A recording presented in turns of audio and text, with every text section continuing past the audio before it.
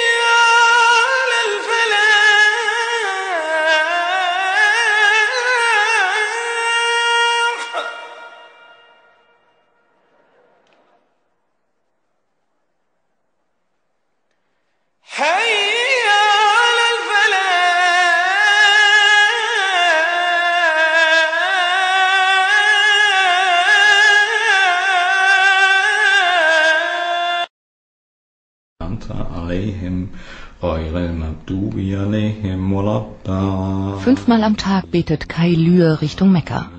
Der islamische Gebetsritus ist fest in seinen Tagesablauf integriert. Doch das war nicht immer so. In Gesprächen mit Muslimen kam er dann dem Islam näher und ist konvertiert.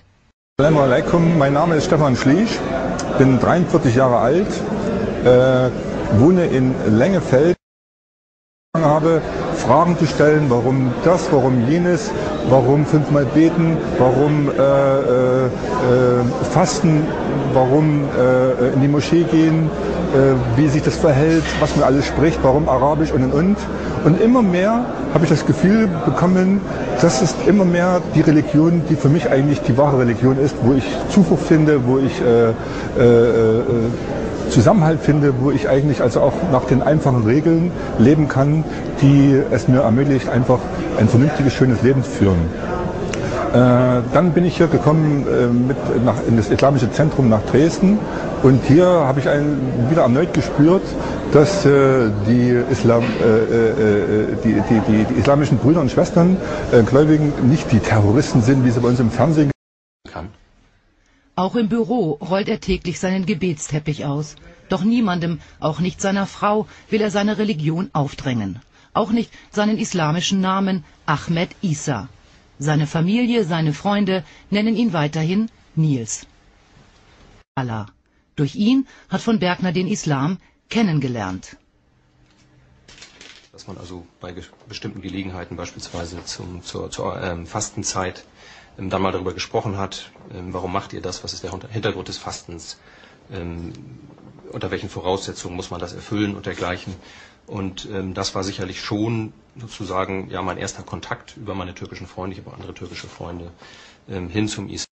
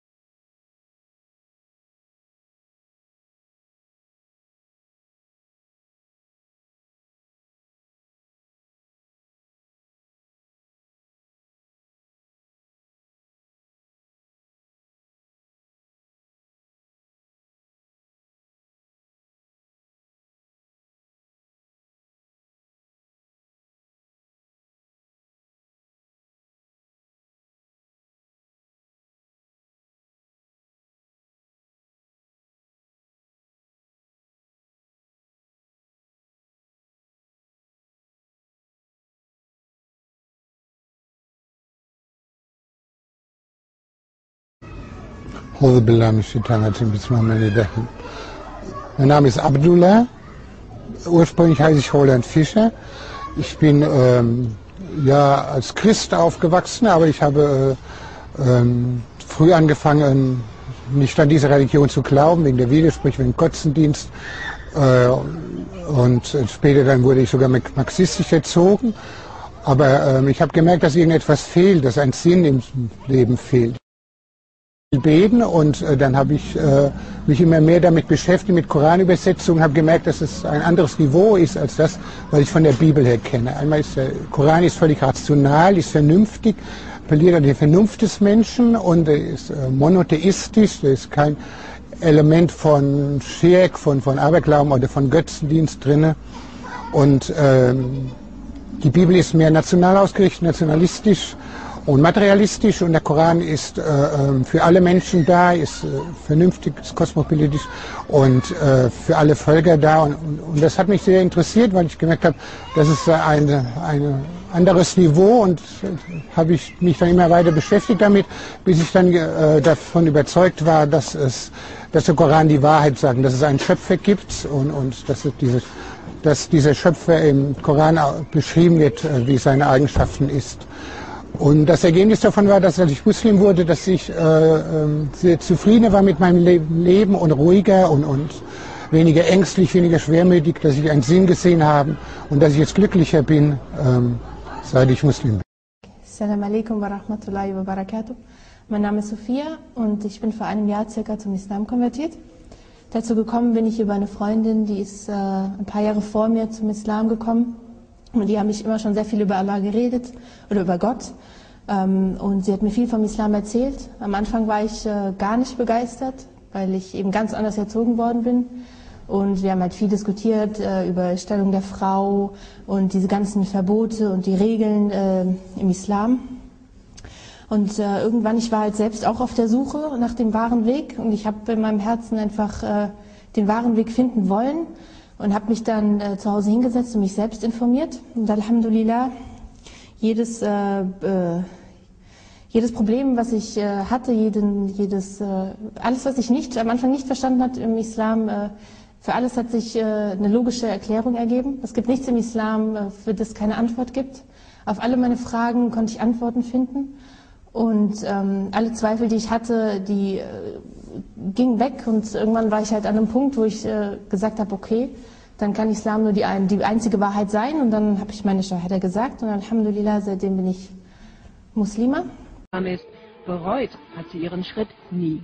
You become yourself. You become human. You become Ich bin jetzt einfach wirklich ich selbst. supposed to be in this Alles. Äußerliche fällt von dir ab. Like Du wirst Teil der Welt, so wie sie sein soll. Wenn du fünfmal am Tag betest, bringt dich das immer wieder zurück zum Wesentlichen. oh, Es hält dich zum Beispiel davon ab, andere zu verletzen, weil du ständig über dein Handeln reflektierst. Diese Religion hilft mir wirklich, ein besserer Mensch zu werden.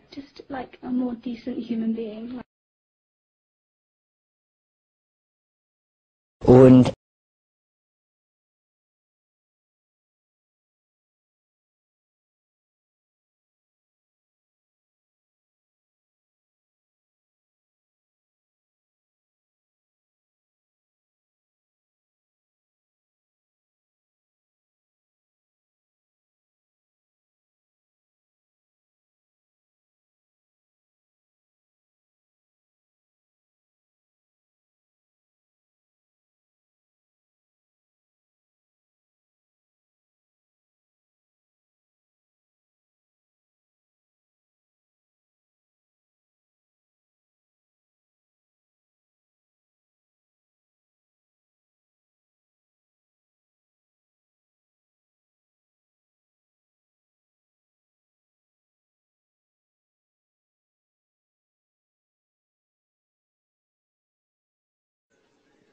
Mein Gefühl hat mir sofort gesagt, diese ist scheinbar ja Atmosphäre in dieser Moschee, die birgt irgendwas in sich, wo ich sage, ja, das habe ich gesucht.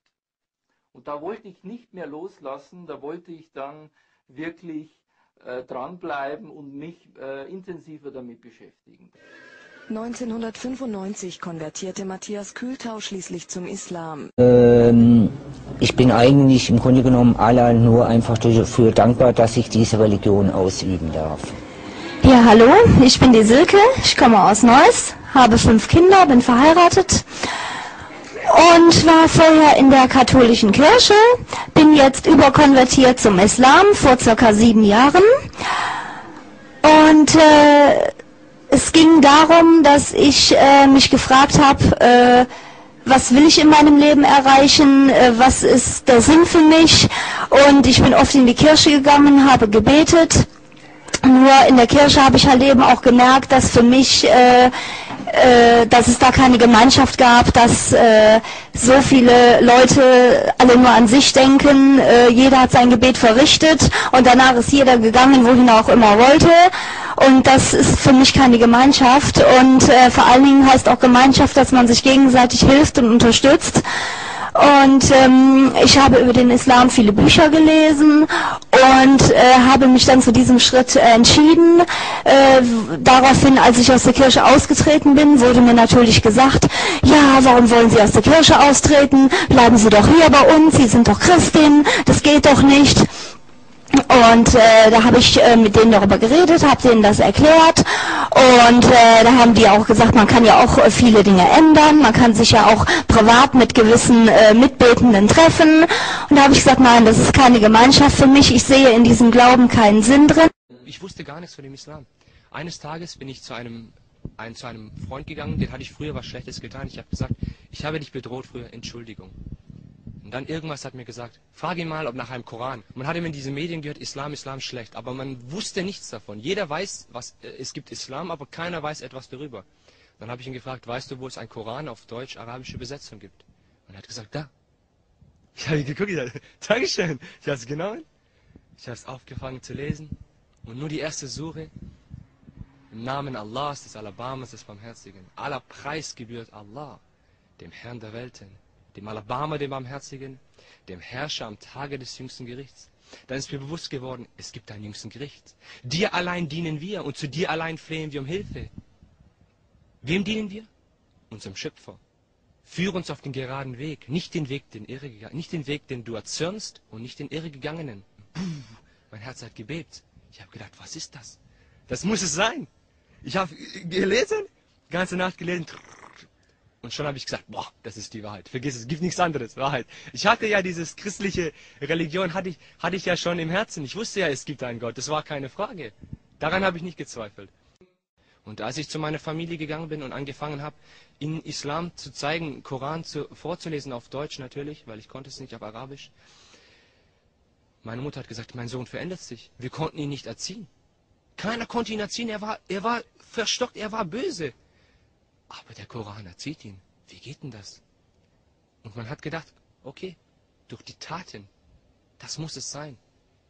Wie hat er, wie hat er für gelebt? Was macht er jetzt? Wie hat er geredet? Wie redet er jetzt?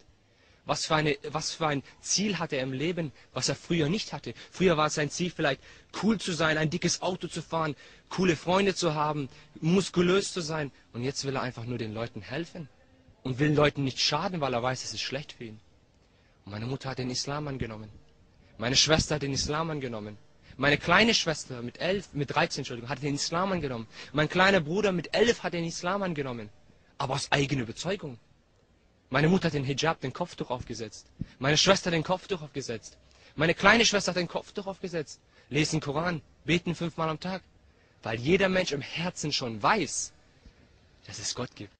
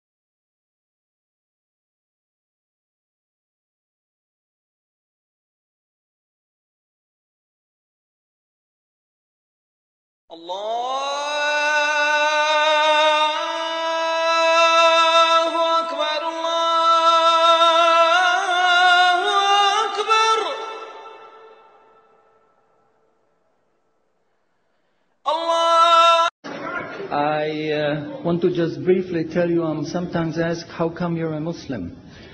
And I tell them, well, God showed me that I'm a Muslim. But I didn't want to stay ignorant about religions. So I said, okay, I, I read Bible. And I saw in the Bible there are places which you know come from God. You feel it in your heart. But you see there are places which come from man. Because this page says something that is opposite to the uh, thing that was said a few pages ago. So I knew that Bible was written by man many years after the prophets. And I bought a Quran, English translation of the Quran. And when I started reading it, I started reading it with the same idea that just like Bible, it was written by man. Because this book is very clear, very logical, very easy to follow, and there are no contradictions. But then as I read later, I suddenly saw a scientific fact which I knew was only discovered in the 20th century. So immediately I saw that Muhammad is not the author of the Quran. That Muhammad is a messenger sent by God to give the Quran to mankind. I saw, mashallah, Muhammad Ras- Rasulullah. So I said, mashallah, I'm a Muslim. Uh, the prophets, such as Jesus, such as die Propheten glaubt, wie Jesus, Moses, und dass man dann natürlich den letzten, den endgültigen Propheten kennenlernt, Mohammed. Das war für mich das Entscheidende. Das war vielleicht der Augenblick, der Moment, wo ich wirklich verstanden habe, dass der Islam meine Heimat war.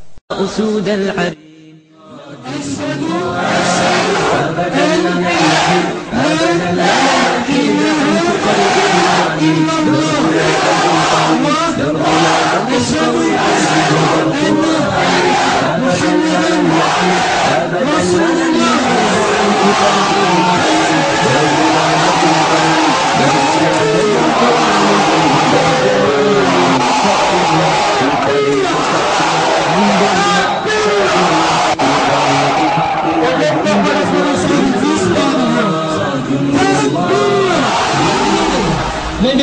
wiederkommen, dass ihr kommt, egal wo wir in Hessen sind, wenn wir nach Darmstadt kommen, dann kommt alle auch dorthin und bringt jeder noch einen mit, damit wir jedes Mal mehr sind.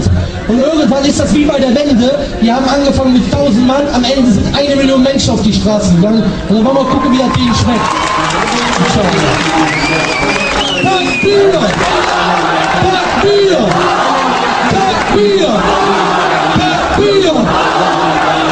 Das macht mir so Spaß, ne? Alhamdulillah. So, das dazu. Möge Allah uns segnen. Ist hier jemand, der gegen Sklaven ist? Eşhedü Eşhedü en en la la ilahe ilahe illallah illallah ve ve eşhedü eşhedü enne enne Muhammeden Muhammeden Resulullah. Resulullah. Takbir!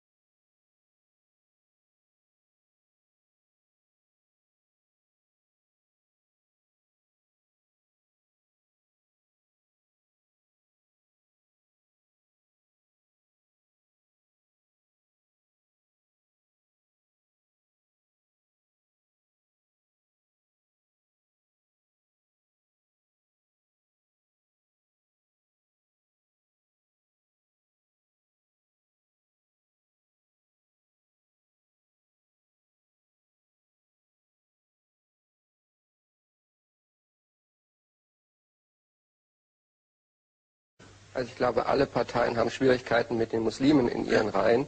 Äh, Ich habe für die CDU gearbeitet und äh, muss der Ehrlichkeit halber sagen, habe in den ersten Jahren keine Schwierigkeiten gehabt, äh, weil es eine Frage nicht der Programmatik ist, sondern auch viel mit Personen zu tun hat. Zunächst auch gar nicht äh, glauben können. Ich habe ein Buch über den Iran gelesen, aus politischem Interesse, nicht aus religiösem Interesse. Und es hat also auf einmal einen, einen Kick in meinem Hirn gegeben, äh, dass mir irgendwo klar war, der Islam ist die Religion, ohne zu wissen, was Islam überhaupt ist. Und äh, meine Reaktion war, okay, das passiert nicht im 20. Jahrhundert und dir passiert es sowieso nicht. Und es war aber dann so stark das Gefühl, dass ich gesagt habe, okay, du musst es, ich will es jetzt wissen. Was steckt dahinter? Und ich hatte auch dem Willen des Egos unter dem Willen Gottes zu stellen und einzugehen mit der Schöpfung. Das ist für mich Islam eigentlich. E ciò mi ha fatto molto pensare. Una, questa, voce, questa voce che mi diceva perché non diventi musulmano, mi invitava all'Islam.